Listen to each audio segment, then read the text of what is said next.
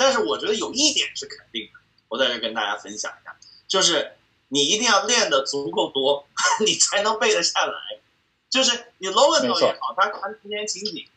你看到他，他说他没时间，所以他把那些呃和弦呢、什么和声记下来。那是因为他前面七十年练的足够多了，他对钢琴足够熟悉，他对整个的和声、对整个的调式足够熟悉。如果我们今天这一期讲出去，所有人说哦，我们不用看谱子，我们就记那个和弦转位就行了，什么一级、六级、七级，你会发现，如果你对钢琴不熟悉的话，你没有几十年在钢琴上这么练的话。你到时候照样还不如你去背谱，就你什么都弄不出来。所以我们都有一个经验是什么呢？就是小的时候，你比如说像我小的时候，十二三岁、十三四岁时候练的曲子，我现在三年不练，我上上台拿出来，我可能就重新弄一个，大概两三天，我就可以背下来，重新上台。为什么？因为你有手指记。就是你，我举个例子，比如说我弹协奏曲里面，我我现在大概随时能上台的有大概十到十五首协奏曲。但是最熟悉的柴一拉二，全是我附中的时候练，而且熟悉到什么程度？你只要给我三十分钟到五十分钟的时间，我就能练下来，我就能马上上台。就不管你是三年没碰它，还是五年没碰它，就可以，因为这个记忆就在手上。包括我弹的西班牙狂想曲，原来那个时候练，就附中时候练过三五年的，彼得鲁什卡等等。我现在随时，你现在让我上去，我都能给你弹弹下来。虽然我已经有三年没弹过这个曲子，四年没弹过。你还是能记下来，但是它不是你的脑子记忆了，它是你手指的条件反射式的记忆。就你弹完这个音，下一个音你手自动就过去。如果你不想那么多的话，你就靠手，它是能记下来八九不离。所以我觉得，没错，有一种记忆方法就是这种，就是你练的足够多了之后，它就在你手上形成了，形成了这个。就跟骑自行车，你骑上之后，你这辈子不骑，你那个脚还是会蹬，你还是会掌握。我觉得有这种。袁老师讲的这种肌肉记忆哈，尤其像你指的这个小的时候，我们手里也都会有这种小的时候的曲子，就是什么时候上台都是非常勇敢的上去。我觉得这也是因为没有心理阴影，就是 因为从小一直演，真的有的时候你会发现一个曲子出了一次错之后，第二次就有点心惊胆战。但是小的时候这些曲子就是真的是没有阴影的这种，上去随时都敢弹，手自动对。如果想不错的话，其实对，如果想不错的话，就是。千万不要听袁老师说，哎，我曾经哪里错过，他 真的会错。对，所以经过两位老师的总结，我发现啊，这个确实是这样，就是这无论你用哪一种记忆方式，数呃视觉记忆也好，触觉记忆也好，还是听觉记忆也好，其实都会最终落在一个呃触觉记忆上。但是呃，我听说呀，很多的学生们啊，就是包括我在教学过程中也发现，好多人呢，这个弹琴的过程中啊，就是弹着弹着，突然就完全想不起来了。这个我觉得可能就是他完全使用这个呃触觉也，就是肌肉记忆之后造成的一个后果。那么有些人在背巴赫的时候，因为我有时候会要求学生，因为巴赫是很难的，他需要用到强烈的逻辑思维，然后你也要听到那个声音，然后你还要很熟练的去记住它的手感。很多人是没有可能用这么长时间，因为一个学期一共就三四个月，对吧？所以我给学生们留新曲的时候，第一件事说先练巴赫。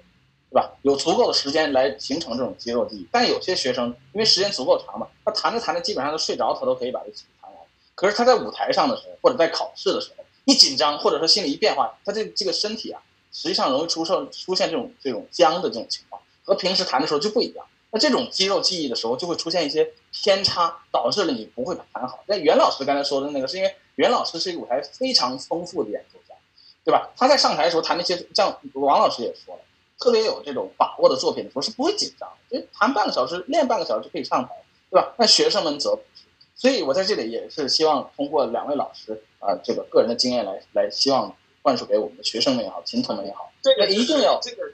听我们的好处，就是你可以听上一期怎么解决紧张的问题，是吧？连起来，对对对对我们这个也是连着啊，这个记忆之间的方式连着，我们的节目也是我稍微连连本的啊。我觉得刚才那个英南老师说的特别对的一点，就是你绝对不能，呃，只是单靠某一种记忆方法来记忆。反正起码像我的经验，就是我，我仔细现在分析哈，因为我现在已经养成习惯，用各种各样的记忆方法。就是首先，我觉得就是说肌肉记忆是必须的，因为肌肉记忆实际上这种条件反射，在你最紧张的情况下，哪怕你的手僵硬的话，你大概大概率百分之九十还是能完成下来。就是你紧张到就是紧张是什么？实际上就是你的神经神志错乱了，就是你已经不知道下一个音在哪。那这个时候你都你的意识已经不知道下一个音在哪，你怎么把这个曲子完成？你就只能靠肌肉记忆了。就是你就是闭上眼睛就懵吧，然后你就觉得这个音是在上方几度，上方几度，哪怕不准是上方五度，你想成了上方六度。但是它起码是那个方位，那你怎么在神志错乱、紧张的情况下还能记住上方呢？这就是一个肌肉的记忆嘛。所以我觉得最开始一定是肌肉记忆，就是这这个这是一个 fundamental，就是一个呃最最最基本。我插一句啊，杨老师，你有没有试过用肌肉记忆的时候突然弹错了？因为它和你比如说你的肌肉记忆是个连贯的肌肉记忆，就是你出拳是一样，你如果绕一下，突然那个位置变了的话，那个会出现当然了，你有没有试过？当然了。就包括手这个琴，如果说从光滑的键子变到这个象牙键子、稀罕的那种，你的触感不一样之后，你是会扰乱你整个的肌肉记忆，这是肯定。所以我就说，肌肉记忆是一个基础，然后你要有各种各样的记忆方法。比如说像我，我就是唱旋律，我我自己总结自己就是，呃，我会给自己在这些曲子上面设定很多的这个就是安全点，啊，就是这个 safety zone，就是。在这些安全点，我会一定死记硬背，就是我一定硬背到，就是每个音，这个音后面是哪个音，这个音就是我一定要记得清楚，它是，就是非常非常清楚它是怎么，就是任何的时候我都能跳到那个点，就哪怕我中间错了，我能马上跳到那个点，继续往下再接下去，就是我就是。那袁老师，你那个点是一种肌肉的记忆呢，还是你听到的那个声音呢，还是你记住了它的那个和弦是怎么样？是用视觉记忆，就是我完全能把它默写下来。就是我都知道那个音是怎么样的一个节奏型，就是我都已经能记得下来，它是十六分音符还是三十二分附点，就是我会记得非常清楚。呃，我稍微插一句哈，袁老师，我这也是突然想到的，就是很多时候肌肉记忆是真的是在一个把位很小的时候是很保险，但一旦有跳跃，就如果说你是跳八度还是九度，肌肉记忆是容易犯错的。所以，往往对于我来讲，就是每当有跳跃，我就记住下一个音跳到哪儿，我是心里知道是跳在哆还是升哆还是 re 上面，不靠肌肉的。但是，当它是一个非常小范围内的跑动，肯定是要记肌肉记，因为你的脑子都跟不上手，要比脑子快得多。是，没错，我我说的就是这个意思。呃，那个，整个就是我的意思，就是说，fundamental 是你的肌肉。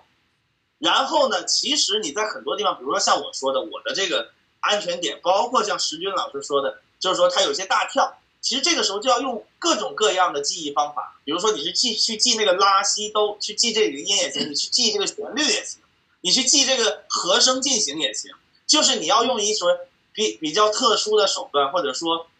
就除了你的肌肉记忆之外的各种手段去记。所以我觉得就是我们今天要传达给。整个的，就是我们分享的经验也好，就一定是要用多种多样、各种各样的方法去记忆，而且要找到这样。对，我还想接着这个王老师之前说的一个呃很重要的点，就是他提到了现代、现近现代作。呃，我自己在个人演奏的过程中和教学中，发现了一个很重要的事情，就是我发现啊，离我们生活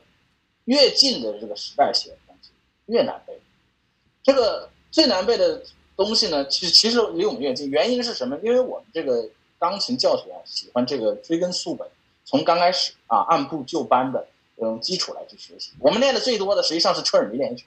啊，接下来是肖邦啊，当然，那车尔尼练习曲呢，其实和海顿、莫扎特、贝多芬啊，其实是一脉相承的，也就是它的和声结构也好，弹法也好，包括音音阶、爬音的这种使用方式是非常相近的。也就是我们在基础学习最早接触这些东西时候，是其实是最牢固的。这就为什么我们说一个弹过钢琴的人有一个很好的古典基础，他在接受新的东西的时候是不会那么难，不会那么难的。但是我会发现另一个问题：当我二十几岁开始第一次接触普罗科菲耶夫和斯克里亚宾的时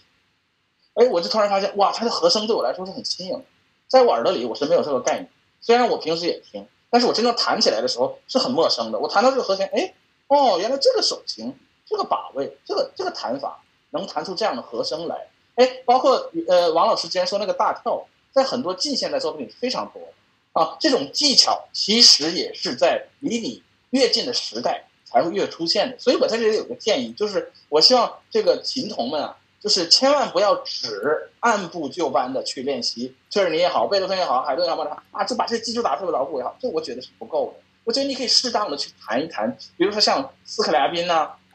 尤其是拉威尔的东西，拉威尔和泽彪西的这个印象派的这种声音的东西，哎，一定要早一点点接触，让你的这个头脑里能适应这样的声音和适应这种这种呃适应这种技巧的这种方式啊，怎么弹的，让你的肌肉也好，你的这个视觉感觉也好，还是你的听觉思维也好，能有一定程度的去适应这个东西。呃，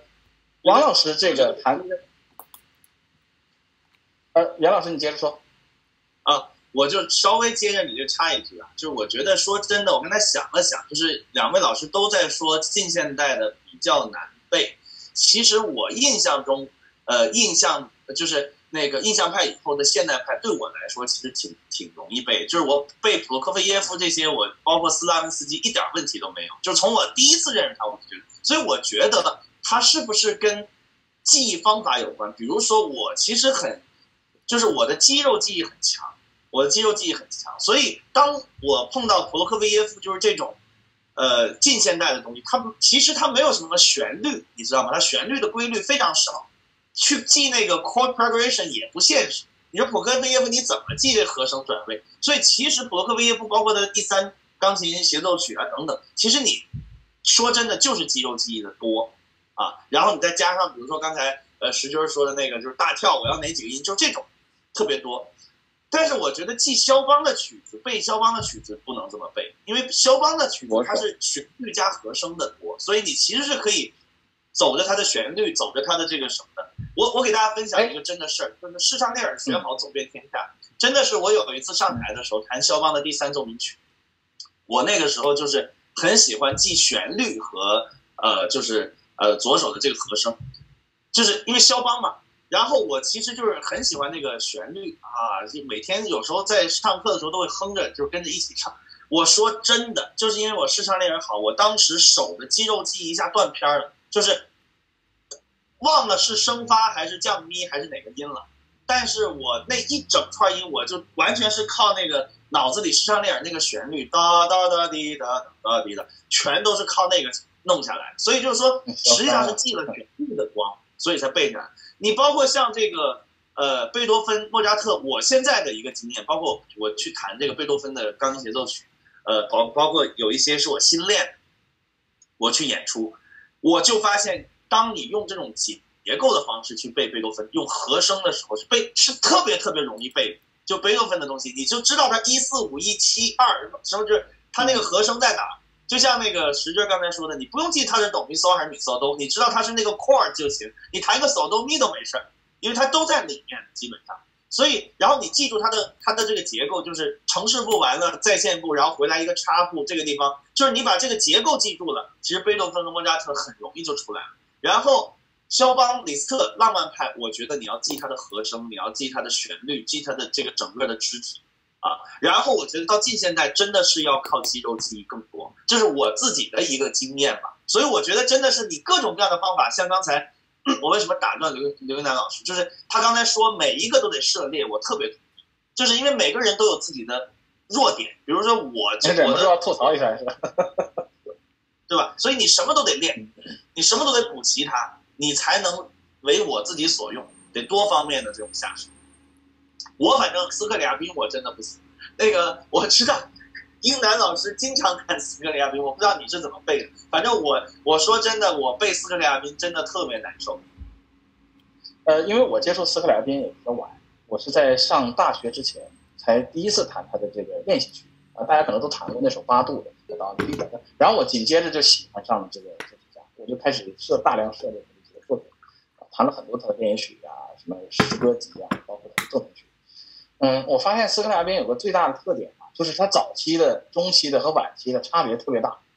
尤其是晚期的东西和早期的完全不是一回事儿。早期作品其实你对肖邦和拉梅洛夫有一定了解的时候，你弹起来其实并不难，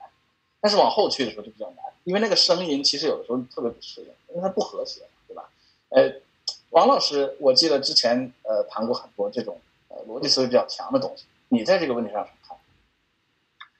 呃，我就插一句，这个之前袁老师讲的，他把一个非常大框的一个说哪哪一个时期哪一个作曲家的需要大概用哪一些记忆方法，我觉得这个归纳的非常的好。嗯，我就插一句，他指的这个就是说什么肖邦啊、舒曼啊这种有旋律的这种曲子，一定要背左手。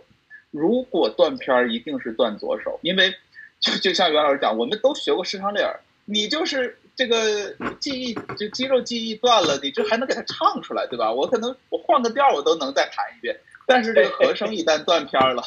真的是真的是不行哈。所以这个是给大家一个提议。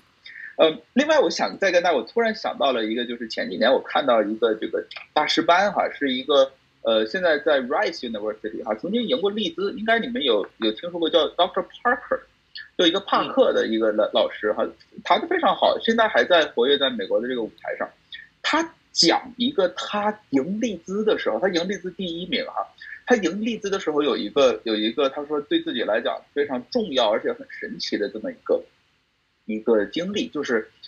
他二轮的时候呢是新学了这个拉赫玛尼诺呃这个布拉姆斯的这个帕格尼尼的变奏曲，他新学的，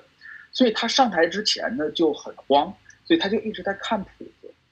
但是他看谱子在一边看一边弹的时候，突然之间他忘掉了这个左手应该是什么音，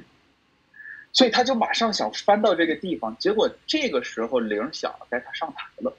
他还没有找到那个地方，他说这个是很可怕的，很可怕的，像噩梦。所以说，所以说他就弹到，因为这个是变奏曲嘛，他知道我这可能第七变奏挂掉，或者我第八变奏我忘掉，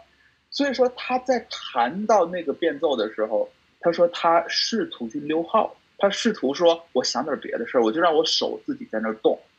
他说肯定我那个曲子那个变奏弹的特别差，但是我混下来。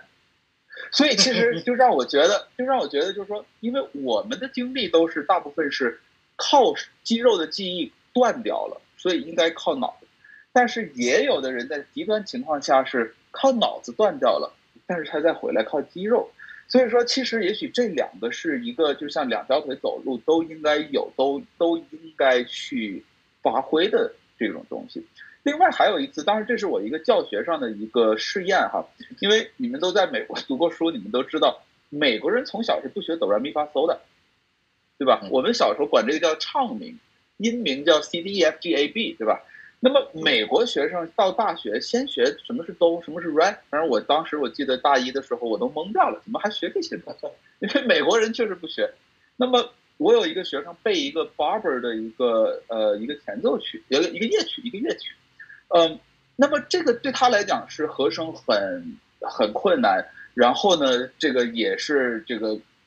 这个肢体上对他来讲比较困难。我就说，你能不能把它当视唱练耳一样？我就给你留个作业，你把它当上按哆来咪给我唱出来。所以他就练了一个星期，按哆来咪给他唱出来。最后他发现他的嘴在帮忙记忆，就是他的嘴在告诉下一个人是咪，然后他弹的咪，下一个人是拉，他弹的拉。所以当时我就想，那好吧，那你就说你有你有 muscle memory 手的 muscle memory，你有这个用你的脑子的这种 memory，你还有一个 mouth memory，对吧？你无论是什么样的，就像袁老师讲的，只要有方法，我们都往上来填充。那么一旦说你把这种给背下来之后，那么你就需要上台的时候回看上一期，对吧？怎么样能够在有这个 有这个压力的情况下，还能够让你平时能够把它弹下来的这些方法。能够在台上还能够有效，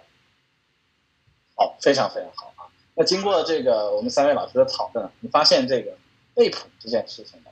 是一个既困难又有趣，然后又是一个长期训练呃得到的结果，而且三种记忆方法缺一不可啊！至于你最后会